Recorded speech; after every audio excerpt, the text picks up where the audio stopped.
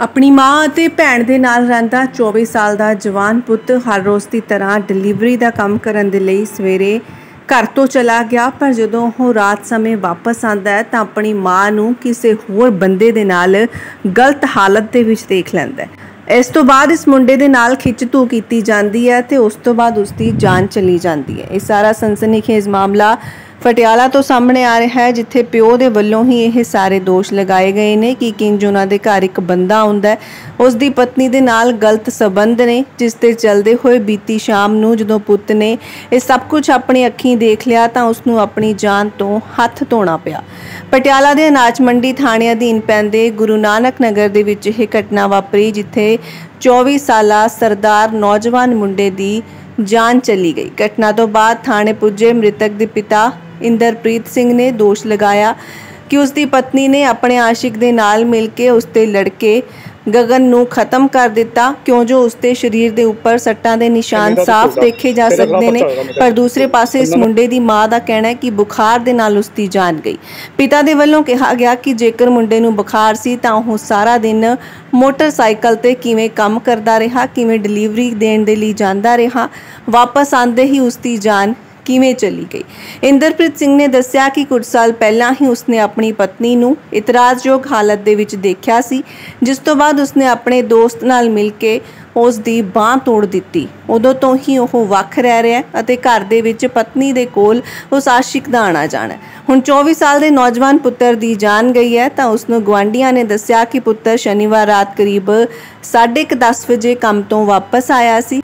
ਜਦੋਂ ਗਗਨ ਨੇ ਆਪਣੀ ਮਾਂ ਨੂੰ ਉਸ ਦੇ ਆਸ਼ਿਕ ਦੇ ਨਾਲ ਦੇਖਿਆ ਤਾਂ ਦੋਵਾਂ ਵਿਚਾਲੇ ਝਗੜਾ ਹੋ ਗਿਆ, ਜਿਸ ਤੋਂ ਬਾਅਦ ਪੁੱਤਰ ਦੀ ਜਾਨ ਲੈ ਲਈ ਗਈ। ਹਾਲਾਂਕਿ ਇਹ ਦੋਸ਼ ਲਗਾਉਣ ਵਾਲੇ ਪਿਓ ਦੇ ਵੱਲੋਂ ਕਿਹਾ ਗਿਆ ਹੈ ਕਿ ਕਿਸ ਤਰ੍ਹਾਂ ਦੇ ਨਾਲ ਉਸ ਦੀ ਪਤਨੀ ਇਹ ਸਭ ਕੁਝ ਕਰਦੀ ਰਹੀ। ਘਰ ਦੇ ਵਿੱਚ ਇਸ ਮੁੰਡੇ ਦੀ ਜਵਾਨ ਭੈਣ ਵੀ ਸੀ।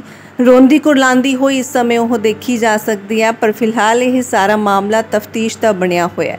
ਇਸ ਮੌਕੇ ਤੇ ਪਿਤਾ ਨੇ ਦੱਸਿਆ ਕਿ ਬੇਟਾ ਰੋਜ਼ਾਨਾ ਦੀ ਤਰ੍ਹਾਂ ਸਵੇਰੇ ਜਿਮ ਵੀ ਗਿਆ ਸੀ। ਉਸ ਤੋਂ ਬਾਅਦ ਉਹ ਕਿਸੇ ਕੰਮ ਦੇ ਲਈ ਚਲਾ ਗਿਆ। ਰਾਤ ਨੂੰ ਘਰ ਵਾਪਸ ਆਇਆ। ਗਵਾਂਢ ਦੇ ਵਿੱਚ ਰਹਿਣ ਵਾਲੇ ਗਵਾਂਢੀਆਂ ਦੇ ਵੱਲੋਂ ਹੀ ਦੱਸਿਆ ਗਿਆ ਕਿ ਦੇਰ ਰਾਤ ਨੂੰ ਘਰ ਦੇ ਵਿੱਚੋਂ ਹੰਗਾਮੇ ਦੀ ਆਵਾਜ਼ ਅਤੇ ਬੇਟੇ ਦੀ ਕੁੱਟਮਾਰ ਵੀ ਕੀਤੀ ਗਈ। ਅਜਿਹੇ ਦੇ ਵਿੱਚ ਬੇਟੇ ਦੇ ਬੁਖਾਰ ਹੋਣ ਦੀ ਗੱਲ ਉਸ ਨੂੰ ਝੂਠ ਲੱਗ ਰਹੀ ਹੈ। ਥਾਣਾ ਅਨਾਜ ਮੰਡੀ ਦੇ ਐਸਐਚਓ ਅਮਨਦੀਪ ਸਿੰਘ ਬਰਾੜ ਦੇ ਵੱਲੋਂ ਦੱਸਿਆ ਗਿਆ ਕਿ ਗਗਨਦੀਪ ਦੀ ਜਾਨ ਜਾਣ ਤੋਂ ਬਾਅਦ ਵੱਖ ਰਹਿ ਰਹੇ ਪਿਤਾ ਨੇ ਗੰਭੀਰ ਦੋਸ਼ ਲਗਾਏ ਨੇ। ਹਾਲਾਂਕਿ ਮੌਕੇ ਤੇ ਜਾਂਚ ਦੇ ਵਿੱਚ ਹੁਣ ਤੱਕ ਕੋਈ ਸੁਰਾਗ ਨਹੀਂ ਮਿਲਿਆ, ਪਰ ਫਿਲਹਾਲ ਰਿਪੋਰਟ ਦਾ ਇੰਤਜ਼ਾਰ ਕੀਤਾ ਜਾ ਰਿਹਾ ਹੈ ਤਾਂ ਜੋ ਅਗਲੀ ਕਾਰਵਾਈ ਕੀਤੀ ਜਾਵੇ। ਘਰ ਦੇ ਵਿੱਚ ਉਸ ਸਮੇਂ ਇਸ ਮੁੰਡੀ ਮੌਜੂਦ ਸੀ ਅਤੇ ਮਾਂ ਵੀ। ਫਿਲਹਾਲ ਦੇਖਣਾ ਹੋਵੇਗਾ ਕਿ ਜਾਂਚ ਪੜਤਾਲ ਦੇ ਵਿੱਚ ਕੀ ਕੁਝ ਸਾਹਮਣੇ ਆਂਦਾ ਮੈਨੂੰ ਦੁਬਾਰਾ ਮਹੱਲੇ ਚੋਂ ਫੋਨ ਆਏ 4 ਵਜੇ। ਕਹਿੰਦਾ ਵੀ ਤੇਰੇ ਮੁੰਡਾ ਤੇ ਮੈਂ ਜਦੋਂ ਪਤਾ ਕਰਾਇਆ ਸਾਰਾ, ਉੱਥੇ ਗਿਆ ਜੀ ਮੈਂ ਆਲੇ ਦੁਆਲੇ ਤੇ ਸ਼ਾਮ ਨੂੰ ਪਹੁੰਚਿਆ ਮੈਂ ਡਿਊਟੀ ਖਤਮ ਕਰਕੇ।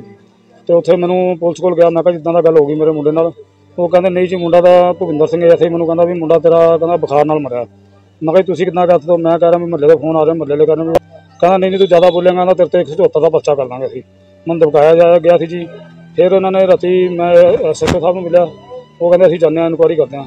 ਫਿਰ ਇਨਕੁਆਰੀ ਕਰਕੇ ਆਏ, ਇਹਨਾਂ ਨੂੰ ਕਿਸੇ ਨੇ ਦੱਸਿਆ। ਸਵੇਰੇ ਮੈਂ ਗਿਆ ਜੀ, ਸਵੇਰੇ ਫਿਰ ਮੈਨੂੰ ਸੁਣਵਾਈ ਨਹੀਂ ਹੋਈ। ਮੈਨੂੰ ਮਹੱਲੇ ਤੋਂ ਇਹ ਪਤਾ ਲੱਗਾ ਵੀ ਮੇਰਾ ਮੁੰਡਾ ਜਿਹੜਾ ਸੀ, ਉਹਨੂੰ ਬੋਵੀ ਸਿਰਸਵਾਲ, ਸਾਰਾ ਕਰਤਾ ਤਤਾ ਹੋਈ ਮੇਰੀ ਜਨਾਨੀ ਨਾਲ ਰਿਲੇਸ਼ਨ ਸੀ ਜੀ। ਇਹ ਮੁੰਡਾ ਜਦੋਂ ਦਸ ਦਸ ਵਜੇ ਘਰ ਆਇਆ, ਤੇ ਉਹਨੇ ਮਾਂ ਨੂੰ ਤੇ ਉਸ ਬੋਵੀ ਸਿਰਸਵਾਲ ਨੂੰ ਗਲਤ ਹਾਲਤ 'ਚ ਦੇਖਿਆ। ਉਸ ਤੋਂ ਬਾਅਦ ਇਹਨਾਂ ਦੀ ਉੱਤੇ ਗਰਮੋ ਗਰਮੀ ਹੱਥੋਂ ਪਾਈ ਹੋਈ। ਇਹਨਾਂ ਨੇ ਮੁੰਡੇ ਨੂੰ ਖਿੱਚ ਕੇ ਚੁੰਨੀ ਪਾ ਕੇ ਜੇ ਮਹੱਲੇ ਦੇ ਕਹਿਣ ਮੁਤਾਬਕ ਉੱਥੇ ਚੁੰਨੀ ਪਾ ਕੇ ਗੇਟ ਤੋਂ ਬਾਹਰ ਘੜੀਸ ਕੇ ਅੰਦਰ ਮਾਰਿਆ ਇਹਨਾਂ ਨੇ। ਤੇ ਪੁਲਿਸ ਕੋਈ ਸੁਣਵਾਈ ਕਰਕੇ ਰਾਜੀ ਨਹੀਂ। ਉਹ ਬੰਦਾ ਪਹਿਲਾਂ ਵੀ ਫਰੋਡ ਆ ਉਹਦੇ ਮਨਾਂ ਤਾਂ ਇਸੇ ਮੁੰਡੇ ਗਗਨ ਦੇ ਮੇਰੇ ਬੇਟੇ ਦੇ ਪਹਿਲਾਂ ਵੀ ਉਹਦੇ ਮੁੰਡੇ ਨੇ ਚਾਕੂ ਮਾਰਿਆ ਸੀ। ਉਹਦੇ ਪੁਲਿਸ ਨੇ ਕੋਈ ਕਾਰਵਾਈ ਨਹੀਂ ਕੀਤੀ ਜੀ ਇਹਨਾਂ ਦੀ। ਸਿਰਵਾਲ ਦਾ ਨਾਮ ਲੈ ਰਹੇ ਹੋ ਰਹਿੰਦਾ ਕਿੱਥੇ ਹੈ? ਇਹ ਪਹਿਲਾਂ ਮੇਰੇ ਗੁਆਂਢ ਚ ਰਹਿੰਦਾ ਸੀ 65 ਨੰਬਰ ਕੋਠੀ 'ਚ ਜੀ।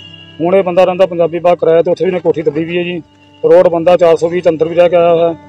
ਇਹ ਬੰਦਾ ਪਾਣੀਪਤ ਤੋਂ ਵੀ ਘੋੜਾ ਆਇਆ ਪਿਆ ਪੁਲਿਸ ਨੂੰ ਕੋਈ ਚੱਕ ਕੇ ਕਾਰਵਾਈ ਨਹੀਂ ਕਰ ਰਹੀ ਜੀ। ਤੁਸੀਂ ਮੌਜੂਦਗੀ ਤੇ ਆਂਦਾ ਤੁਹਾਡਾ ਬੋਵੀ ਇੱਕ ਵਾਰ ਮੈਂ ਪਹਿਲਾਂ ਜਦੋਂ ਮੈਂ ਘਰ ਹੁੰਦਾ ਸੀਗਾ ਜੀ ਮੈਂ 4 ਸਾਲ ਤੋਂ ਅੱਡ ਰਹਿ ਰਿਹਾ ਹੁਣ। ਇਹਨਾਂ ਨੇ ਮੈਨੂੰ ਮਾਰ ਕੁੱਟ ਕੇ ਮੇਰੀ ਬਾਂਹ ਬੂੰ ਤੋੜਤੀ ਸੀ। ਮੈਨੂੰ ਘਰੋਂ ਕੱਢਿਆ ਪਿਆ ਜੀ ਮੈਂ ਅੱਡ ਰਹਿ ਰਿਹਾ ਮੁਖਰਾ ਜੀ। ਡਾਈਵਰਸ ਚੱਲ ਰਿਹਾ ਤੁਹਾਡਾ? ਮੇਰਾ ਡਿਲੀਵਰੀ ਬੁਆਏ ਸੀ ਜੀ।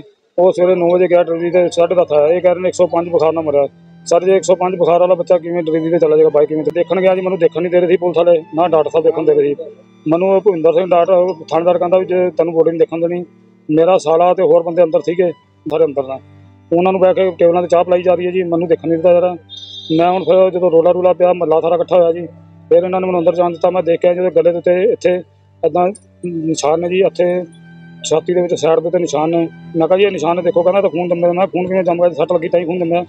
ਕਹਿੰਦਾ ਨਹੀਂ ਜ਼ਿਆਦਾ ਬੋਲੇਗਾ ਕਹਿੰਦਾ ਤੇਰੇ ਤੇ ਪਰਚਾ ਕਰ ਦਾਂਗੇ ਬਾਹਰ ਚੱਲ ਕਹਿੰਦਾ ਕੌਣ ਬੋਲਦਾ ਪਰਚਾ ਕਰ ਦਾਂਗੇ? ਭੁਪਿੰਦਰ ਸਿੰਘ ਐਸਆਈ ਹੈ ਜੀ ਮੈਨੂੰ ਉਹ ਗੱਲ ਕਹਿੰਦਾ। ਜਤਿੰਦਰ ਉਹ ਵਾਰ-ਵਾਰ ਮੈਨੂੰ ਇਹੀ ਗੱਲ ਕਹਿੰਦਾ ਕਹਿੰਦਾ ਬੋਲੇਗਾ 174 ਦਾ ਪਰਚਾ ਕਰ ਦਾਂਗੇ ਕਿੱਦਾਂ ਦੀ ਕਾਰਵਾਈ ਦੀ ਮੰਗ ਕਰਦੇ ਸਰ ਮੈਂ ਚਾਹੁੰਦਾ ਵੀ ਇਹਦੀ ਫੁੱਲ ਇਨਕੁਆਇਰੀ ਕਰਾਈ ਜਾਏ ਜਾਂ ਸੀਬੀਆਈ ਤੋਂ ਕਰਾਈ ਜਾਏ ਹਾਈ ਕੋਰਟ ਤੋਂ ਕਰਾਈ ਜਾਵੇ ਕਿਉਂਕਿ ਮੈਨੂੰ ਇਸ ਮੰਡੀ ਥਾਣੇ ਦੇ ਉੱਤੇ ਵਿਸ਼ਵਾਸ ਨਹੀਂ ਹੈਗਾ ਜੀ ਇਹਨਾਂ ਦੇ ਭੁਪਿੰਦਰ ਸਿੰਘ ਤੇ।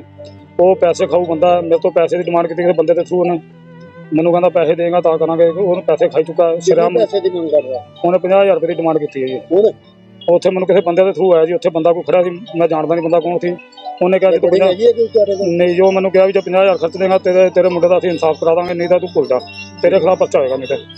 ਤੇ ਮੈਨੂੰ ਮੇਰੀ ਕੋਈ ਸੁਣਵਾਈ ਨਹੀਂ ਕੀਤੀ ਜਾ ਰਹੀ ਜੀ ਸਭ ਉਹ ਵੀ ਸਰ ਸਵਾਲ ਕਰਦਾ ਦਿੱਤਾ ਸਭ ਉਹ ਕਰਵਾ ਰਿਹਾ ਜੋ ਕਰਵਾ ਰਿਹਾ। ਪਰਵਿੰਦਰ ਕੌਰ ਜੀ। ਰਵਿੰਦਰ ਜੀ ਕਿੱਥੇ ਰਹਿੰਦੇ ਹੋ? ਅਸੀਂ ਇੱਥੇ ਪਟਿਆਲੇ 'ਚ ਰਹਿੰਦੇ ਤ੍ਰਿਪੁਰਾ। ਮੇਰੇ? ਮੇਰਾ ਭਤੀਜਾ ਦੇਵਰ ਦਾ ਮੁੰਡਾ ਜੀ ਸਕਾ ਦੇਵਰ ਦਾ। ਤੁਹਾਨੂੰ ਕੀ ਲੱਗਦਾ ਕੀ ਹੋਇਆ ਇਹਦੇ ਨਾਲ? ਇਹਦੇ ਨਾਲ ਬਹੁਤ ਗਲਤ ਹੋਇਆ ਮਾਰਿਆ ਗਿਆ ਜੀ। ਕਿੰਨੇ ਕ- ਕਿੰਨੇ ਇਲਜ਼ਾਮ ਕਿਹਦੇ ਉੱਤੇ ਲਾਉਂਦੇ ਨੇ ਦੇਖੋ ਘਰ ਦੇ ਵਿੱਚ ਇੱਕ ਮਾਂ ਹੈ ਜਾਂ ਭੈਣ ਹੈ ਹੋਰ ਕੋਈ ਨਹੀਂ ਹੈ। ਤੇ ਇਹ ਇਹ ਤਾਂ ਲੱਗ ਤੋਂ ਰਹਿ ਰਹੀ ਸੀ ਕਾਫੀ ਟਾਈਮ ਤੋਂ। ਮੈਂ ਤਾਂ ਲੱਗ ਹੀ ਰਹਿੰਦੀ ਹਾਂ ਮੈਂ ਤ੍ਰਿਪੜੀ 'ਚ ਆਪਣੇ ਵਿੱਚ ਲੱਗ ਰਹੀ ਹਾਂ। ਮੈਨੂੰ ਨਹੀਂ ਪਤਾ ਹੈਗਾ ਸਾਨੂੰ ਇਨਸਾਫ ਨਹੀਂ ਮਿਲ ਰਿਹਾ। ਦੇਖੋ ਇਹ ਤਾਂ ਕਹਿ ਰਹੇ ਬੁਖਾਰ ਚੜਿਆ। ਬੁਖਾਰ ਦੇ ਵਿੱਚ ਕੁਛ ਨਹੀਂ ਸੱਟ ਇੱਥੇ ਲੱਗੀ ਹੋਈ ਹੈ ਇੱਥੇ ਲੱਗੀ ਹੋਈ ਹੈ ਔਰ ਇੱਥੇ ਲੱਗੀ ਹੋਈ ਹੈ। ਤਿੰਨ ਜਗ੍ਹਾ ਤੇ ਸੱਟ ਲੱਗੀ ਹੈ ਬੁਖਾਰ ਦੇ ਨਾਲ ਸੱਟ ਨਹੀਂ ਲੱਗ ਸਕਦੀ। ਤੁਸੀਂ ਆਪ ਸਿਆਣੇ ਆ ਕਿਉਂ? ਹੁਣ ਕਿੱਦਾਂ ਦੀ ਕਾਰਵਾਈ ਦੀ ਮੰਗ ਕਰਦੇ ਹੋ? ਕਰਵਾ- ਕਾਰਵਾਈ ਕੀਤੀ ਜਾਵੇ। ਸਾਨੂੰ ਕਾ- ਸਾਡੀ ਸੁਣਵਾਈ ਨਹੀਂ ਹੈਗੀ। ਮਾਮਲਾ ਕੀ ਹੈ? ਇਹ ਲੜਕਾ ਗਗਨਦੀਪ ਸਿੰਘ ਉਮਰ ਤਕਰੀਬਨ ਗਗਨਦੀਪ ਸਿੰਘ? ਗਗਨਪ੍ਰੀਤ ਗਗਨਪ੍ਰੀਤ ਸਿੰਘ ਉਮਰ ਕਰੀਬ 24 ਸਾਲ। ਇਹਦੀ ਕੱਲ ਸੀਗੀ। ਤੇ ਇਹਦੇ ਮਦਰ ਗੁਰਵਿੰਦਰ ਸਿੰਘ ਦੇ ਬਿਆਨਾਂ ਦੇ ਉੱਤੇ ਗੁਰਵਿੰਦਰ ਕੌਰ ਦੇ ਬਿਆਨਾਂ ਦੇ ਉੱਪਰ 174 ਦੀ ਕਾਰਵਾਈ ਅਮਲ ਦੇ ਵਿੱਚ ਲੈ ਕੇ ਆਂਦੀ ਆ। ਇਹਦੀ ਮਦਰ ਵੱਲੋਂ ਜੋ ਬਿਆਨ ਲਿਖਾਏ ਗਏ ਉਹ ਇਹ ਹੈਗਾ ਵੀ ਇਹਨਾਂ ਲੜਕੇ ਨੂੰ ਬੁਖਾਰ ਹੋ ਗਿਆ ਸੀ ਤੇ ਜਿਸ ਕਰਕੇ ਮਤਲਬ ਇਹਦੀ ਕੱਲ ਗਈ ਪਰ ਇਹਦਾ ਇਹ ਜੋ ਫਾਦਰ ਨੇ ਇੰਦਰਪ੍ਰੀਤ ਸਿੰਘ ਨੇ ਉਹ ਇਲਜ਼ਾਮ ਲਾ ਰਹੇ ਨੇ ਵੀ ਇਸ ਦੇ ਮਤਲਬ ਕੋਈ ਇਸ ਨਾਲ ਗਲਤ ਚੀਜ਼ ਹੋਈ ਹੈ ਤਾਂ ਕਰਕੇ ਦੀ ਜਿਸ ਸੰਬੰਧੀ ਅਸੀਂ ਇੱਥੇ ਮੈਡੀਕਲ ਕਰਵਾਇਆ ਗਿਆ ਬੋਰਡ ਤੋਂ ਮੈਡੀਕਲ ਕਰਵਾਇਆ ਹੈਗਾ ਇਸ ਦਾ। ਤੇ ਬੋਰਡ ਦੇ ਮੈਡੀਕਲ ਕਰਾਉਣ ਤੋਂ ਬਾਅਦ ਜੋ ਵੀ ਇਹਨਾਂ ਦਾ ਅੱਗੇ ਸਿਚੁਏਸ਼ਨ ਹੋਏਗੀ ਉਸ ਮੁਤਾਬਕ ਕਾਰਵਾਈ ਅਮਲ ਚ ਲਿਆਂਦੀ ਜਾਵੇਗੀ। ਘਰ ਦੇ ਵਿੱਚ ਮੌਜੂਦ ਇਹ ਭੈਣ ਸਾਫ਼ ਤਰ੍ਹਾਂ ਦੇ ਨਾਲ ਦੱਸ ਸਕਦੀ ਹੈ ਕਿ ਆਖਿਰਕਾਰ ਕੀ ਕੁਝ ਵਾਪਰਿਆ ਕਿ ਉਸ ਦੇ ਭਰਾ ਨੂੰ ਬੁਖਾਰ ਸੀ ਜਾਂ ਫਿਰ ਨਹੀਂ। ਕਿਉਂ ਜੋ ਪਿਤਾ ਆਪਣੇ ਘਰ ਤੋਂ ਵੱਖ ਰਹਿੰਦਾ ਪਰ ਘਰ ਦੇ ਵਿੱਚ ਮਾਂ ਧੀ ਦੇ ਨਾਲ ਰਹਿ ਰਿਹਾ, ਇਹ ਜਵਾਨ ਪੁੱਤ ਜੋ ਕਿ ਦੇਖ ਰੇਖ ਵੀ ਹੀ ਕਰ ਰਿਹਾ ਸੀ ਅਤੇ ਘਰ ਦਾ ਗੁਜ਼ਾਰਾ ਵੀ ਇਹੋ ਚਲਾਉਂਦਾ ਸੀ। ਫਿਲਹਾਲ ਪੁਲਿਸ ਦੀ ਜਾਂਚ ਤੇ ਹੀ ਸਭ ਕੁਝ ਰੁਕਿਆ ਹੋਇਆ ਹੈ। ਦੇਖਣਾ ਹੋਵੇਗਾ ਕਿ ਮਾਂ ਦੇ ਵੱਲੋਂ ਹੀ ਆਸ਼ਿਕ ਨਾਲ ਮਿਲ ਕੇ ਇੰਜ ਕੀਤਾ ਗਿਆ ਜਾਂ ਫਿਰ ਕੋਈ ਹੋਰ ਗੱਲ ਹੈ।